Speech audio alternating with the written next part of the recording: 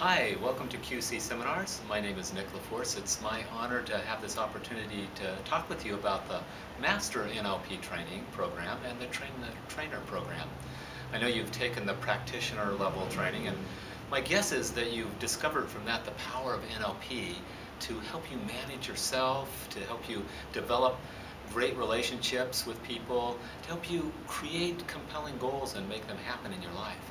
And if you enjoyed that, you'll discover so much more by taking the master program because that's where you go into the inner skill sets and workings. You learn how to create techniques, how to make your own patterns. You learn how to work on higher neurological levels, like work on the identity level, and how to work with beliefs and values in very powerful ways.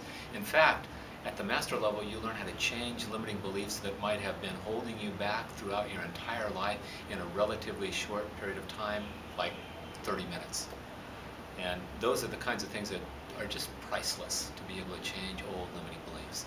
And if you choose, you can even go beyond that to the trainer level where you learn how to take NLP skills and put them into presentations that can be powerful, effective, impacting the lives of people in such a way that they can take what they learn out in the world and make a, a, difference out there. For me, that's one of the beautiful things about being a trainer, is that you impact not only the, the lives of the people that you're teaching, but that they are then going out to, through their training, impact the lives of others. And it's a rippling effect out into the world.